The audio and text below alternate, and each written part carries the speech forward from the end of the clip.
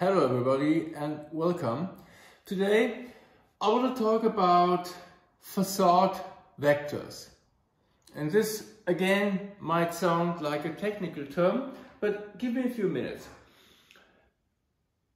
What is graceful? What is a graceful shape? Let's have a look at the kingdom of animals.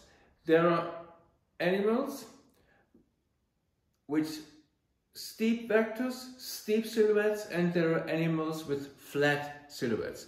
For instance, look at a giraffe. A giraffe is a very graceful animal, like a horse, or a stork, or a heron. They are graceful animals because their silhouettes have steep vectors. On the other hand, Animals with flat vectors, like pigs or frogs, are not very elegant or are not considered to be very elegant. I mean, you can like them, but they are not the most elegant animals you will find in nature. So, just give an example. This is a giraffe, very steep vectors. This is a horse, very steep vector. We judge the grace of a silhouette, the grace of a shape by the angle of its vector. And then you might say, ah, no, no, no, hold on. A leopard has a very flat vector, but hold on a second. A leopard can perform any desired vector in the three-dimensional space. And this is why we consider this animal so graceful, so elegant, because it can climb up and down in any vector desired. Oh, look at this. This is a human ballerina.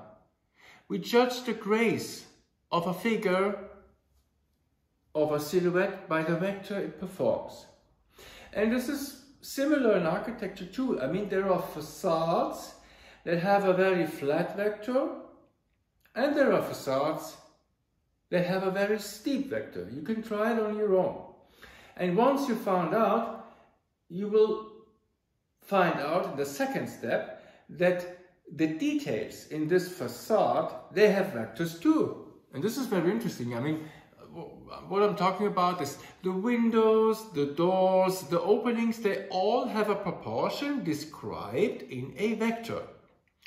And this is very interesting or an interesting criterion when it comes to the beauty of architecture because we judge the beauty of a facade, of a building, of a composition very similar as we do judging the beauty of a biological silhouette. So what I'm saying is look at these terraced houses. They have very steep proportions, very steep vector, and the windows have steep vectors too. And now you might say, oh, no, no, hold on. This is something from good old Europe. No, no, no. This is a street in Chicago. Look at the vectors. Very narrow houses, very steep facades, very steep openings. Everything is on the up. When you look at the street, you will have the impression this, this city this society, this nation is on the up because you have very steep vectors.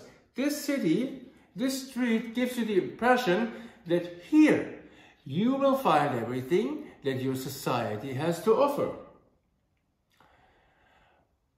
Today, unfortunately, we build in a very horizontal way. This is what we build today. I mean, just an example, I don't want to criticized, but this is a school they built in Berlin. Very flat vectors, very flat openings, and the most flattest, or the flattest vector is the horizontal line. And here I want to say something to you that's obvious, but we don't think about it all the time. Horizontal lines are boring.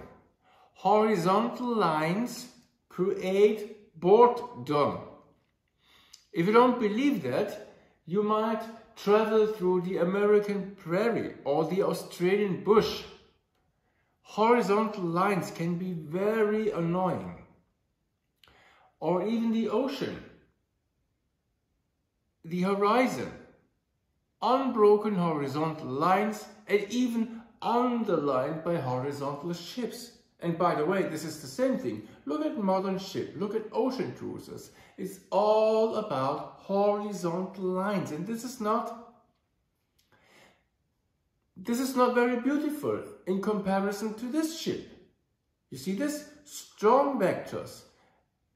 A very sophisticated balance between horizontal lines and vertical lines.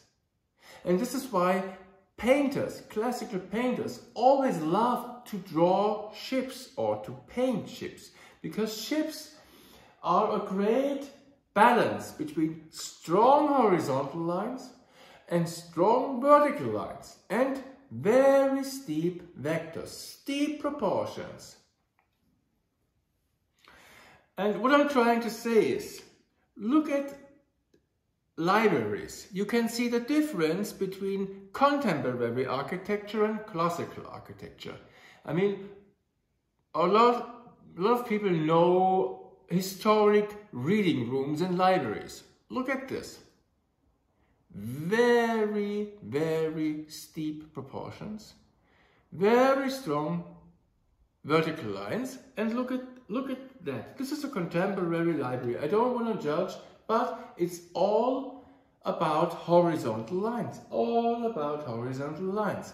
And the combination of books and horizontal lines boredom means means boredom. This is a library you will you think that you will find a lot of interesting books, books that can teach you how to um, perform magic tricks. This is a library you will fall asleep after an hour because the only vertical lines you are, allowed to see are the outsides of the bookshelves. I mean, try it on. I give another example in the architectonic realm. This is Brugg. Great place, great buildings with very, very steep proportions. It, look, it looks nice, it looks elegant. And uh, this is the contrast that contemporary architecture is very flat vectors, very flat proportions, and these proportions tend to have pig-shaped figures, maximizing profits and causing boredom. And this, on the other hand, this looks funny. It looks like a cardiograph. Another secret, I, another opinion I want to share is that vivid architecture looks like a cardiograph. It goes up and down, beep, beep, beep, Boring architecture is like a horizontal line. It goes beep. And if you have this horizontal line for 50 or 60 meters, it will be dead or at least narcotic.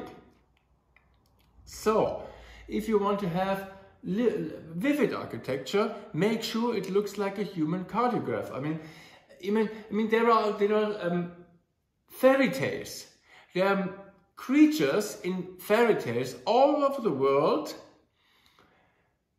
about persons, fairies, living on people's roofs. They jump up and down, up and down.